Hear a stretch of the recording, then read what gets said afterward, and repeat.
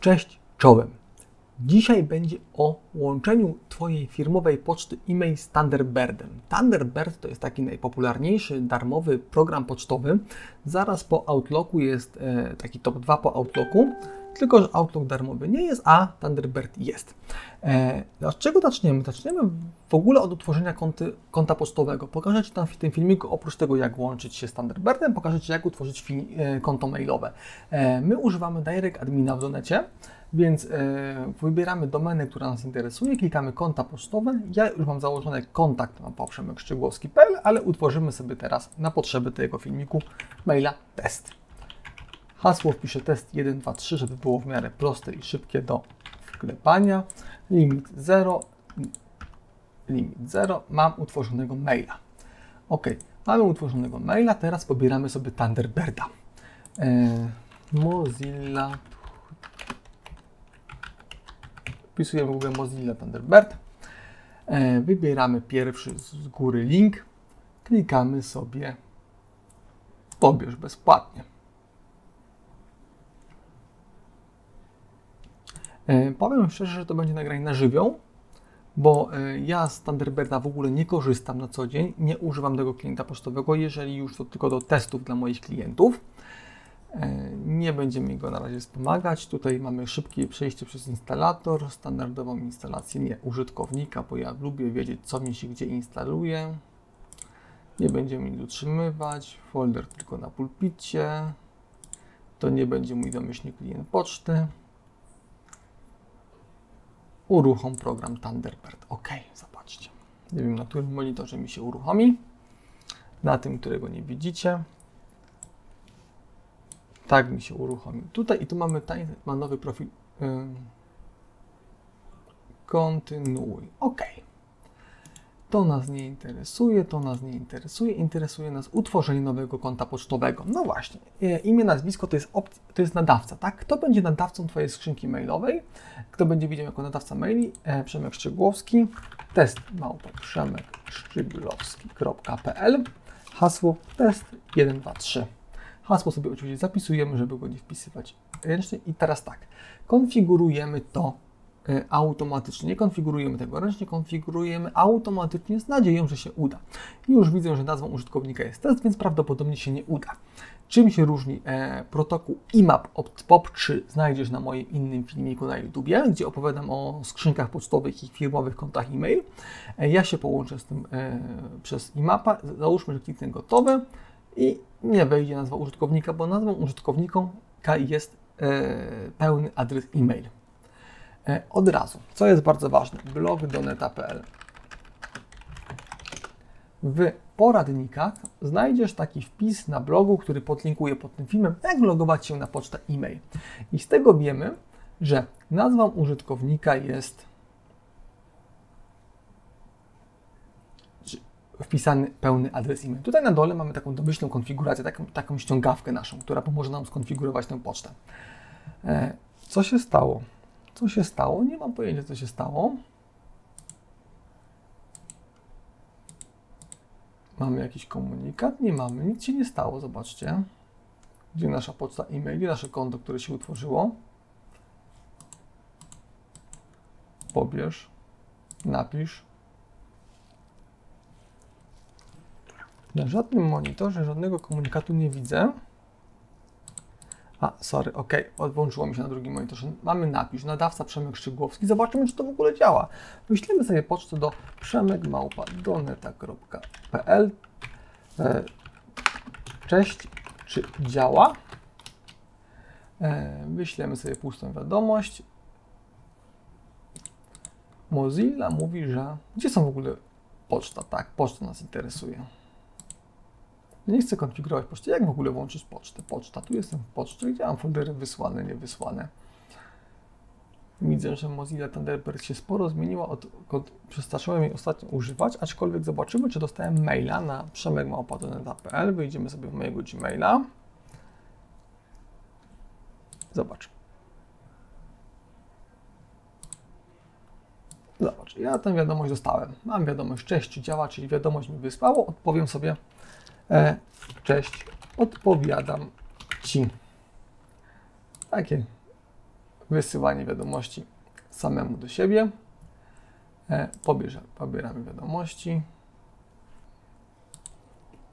Coś mi nie chce działać, więc e, Mozilla zamknąłem sobie Thunderbirda. Otworzymy sobie ją jeszcze raz. A, mam skrót na pulpicie, na którym monitorze mi się otworzy prawym czy lewym. Jest, otworzyło mi się naprawdę. O, i mamy standardowy widok Mozilla Thunderbirda.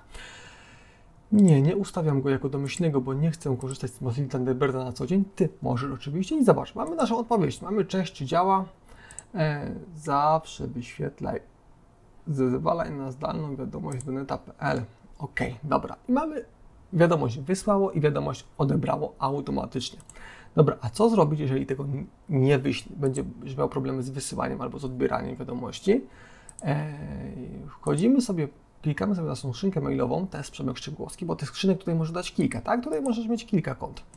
E, wchodzimy sobie w ustawienia i mamy test Przemek Szczegłowski, tak? Jeżeli chcesz dodać nową skrzynkę mailową, to dodaj sobie po prostu, dodaj konfigurację konta pocztowego i dodajesz kolejnego maila, na przykład biuro małpa Przemek Szczegłowski albo e, Przemek Szczegłowski małpa gmail.com, tak? Ja się jednak skupię na samej konfiguracji. Jeżeli cokolwiek by Ci nie działało z tym Thunderbirdem, to E, sprawdzasz adres e-mail, e-mail i nazwisko użytkownika, nazwa konta to jest pełny adres e-mail, tak? Zrobisz to analogicznie do mnie. Tutaj możesz sobie dodać stopkę, ale co nas interesuje? Interesuje nas konfiguracja serwera i interesuje nas porty. Thunderbird domyślnie wykrył porty i te porty działają, bo e, jak widzisz, poczta wychodzi. Pamiętaj, nazwą użytkownika jest pełny adres e-mail zawsze. Nazwą serwera, jeżeli masz serwer u nas, masz pocztę u nas, jest mail.nazwa domeny. W moim przypadku przemekszczegłowski.pl. E, metoda, jeżeli cokolwiek Ci nie działa, e, masz problemy z szyfrowaniem, spróbuj wyłączyć szyfrowanie, tak? Czyli możesz sobie ustawić bez szyfrowania, jeżeli faktycznie byłyby jakieś problemy z, e, z, z szyfrowaniem. Zawsze to jest taka alternatywa, żeby sprawdzić, czy szyfrowanie działa, czy nie działa. Co jeszcze możesz sprawdzić? Na pewno musisz sprawdzić porty. Tak jak Ci mówiłem w artykule, jak logować się na pocztę e-mail, masz porty. Poczty wychodzącej i poczty przychodzącej. Jeżeli korzystamy z e-mapa, używamy poczty, dla porty przychodzącej portu 143 i zobacz, taki port nam wykryło. Gdyby Ci wykryło port inny, możesz zmienić ten port na 143. W poczcie wychodzącej, e, zaraz do tego znajdziemy, poszukamy tego zaraz, e, będzie port inny, prawdopodobnie 587, zaraz zobaczymy, czy mam rację. E, I tutaj mamy takie najważniejsze rzeczy do konfigurowania. Tak, sprawdzasz użytkownika, sprawdzasz szyfrowanie, czy jeszcze nie ma. Gdzieś tu powinno być jeszcze do wpisania hasło, pewnie będzie w zaawansowanych. E, katalog map, chyba jednak nie. E, kopie i foldery. Tu mamy konfigurację skrzynek pocztowych. Ja się konfiguracją skrzynek pocztowych nie zajmuję, bo to nie jest moja brocha. Ja tylko Ci pokazuję, jak to połączyć, żeby to działało. E, jeżeli chodzi o pocztę wychodzącą, dodaj konfigurację innego konta. Nie. Gdzieś to tutaj było. Dodaj konfigurację, dodaj konfigurację. O, tu mamy pocztę wychodzącą, przepraszam, zobacz. E, mamy konfigurację poczty wychodzącej dla mojego maila. Możemy sobie to edytować i tak jak mówiłem, e, gdyby nie, poczta Ci się nie wysyłała, to tutaj sobie zmieniasz bez szyfrowania, bo to, co oglądaliśmy wcześniej, konfiguracja serwera tutaj to jest poczta wychodząca. E, przepraszam, przychodząca, tak? Czyli to, że ktoś do Ciebie wysyła maile i to odbierasz. Tutaj mamy pocztę wychodzącą, czyli że Ty wysyłasz maile do kogoś. E, tu może być SMTP Przemek Szczygłowski. Jeżeli wpiszemy mail Przemek Szczygłowskim, to będzie dokładnie to samo i takie coś Ci rekomenduję. E, co prawda o tym nie piszę, bo to dostajesz w informacji o koncie e-mail. Jeżeli ktoś Ci zakłada konto mailowe, sam to zakładasz lub my Ci zakładamy, to my Ci wysyłamy serwery poczty wychodzącej i przychodzącej. To POP3 i SMTS są takie same serwery jak dla IMAPA, więc tutaj podajesz dokładnie to samo. E, port 587 E, czyli tak jak pisałem tutaj, też automatycznie go wykryło. Gdyby Ci 587 nie działał, możesz spróbować 25. Czasami to ratuje sytuację, aczkolwiek w tym przypadku, jak widać, nam działa. Jeżeli poczta by Ci nie wychodziła, e, sprawdź nazwę użytkownika, czy to jest cały mail, bo czasami może Ci program zrobić tak, podać figle i z użytkownika zrobić tylko to, co jest przed małpą. To jest bardzo ważne.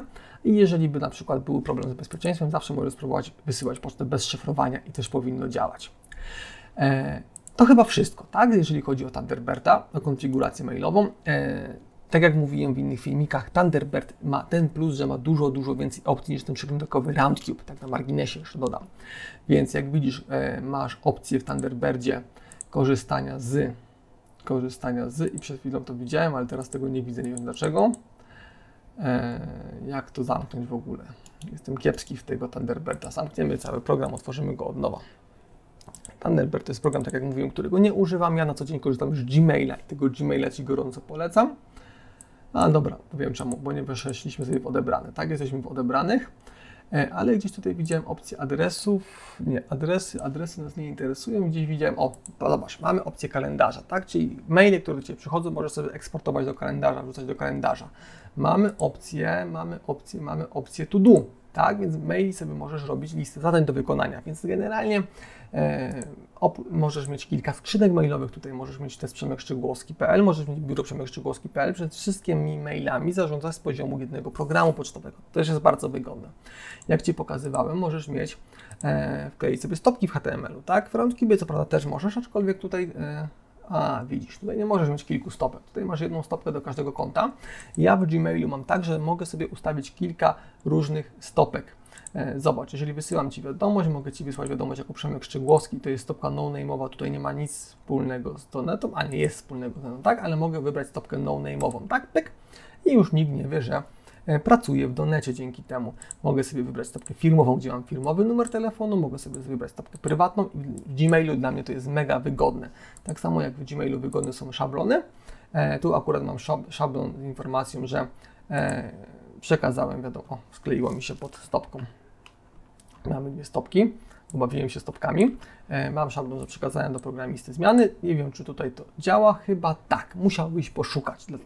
Niemniej e, Gmail, e, Thunderbird są programami bardzo fajnymi, rozbudowanymi. Roundcube przeglądarkowy nie, wiesz, niespecjalnie. Dobra, ale to tylko taka mała, mała, dygresja. Ja dziękuję Ci za uwagę. Mam nadzieję, że potrafisz sobie już skonfigurować Roundcube'a i biorę się za nagrywanie innych filmików. Do zobaczenia. Cześć.